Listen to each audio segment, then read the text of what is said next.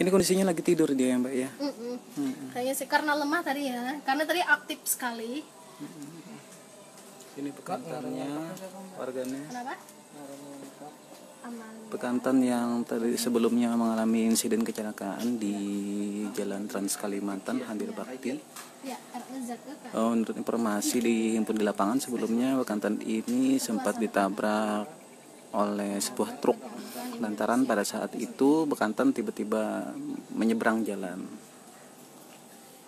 Menurut dokter ya memang harus ditana, ditangani lebih lanjut, khususnya memang untuk dislokasi pinggul. Tetapi ini kan kejadian luar biasa juga untuk menangani primata yang dislokasi pinggul. Nah ini masih eh, nanti akan dibicarakan oleh tim medis.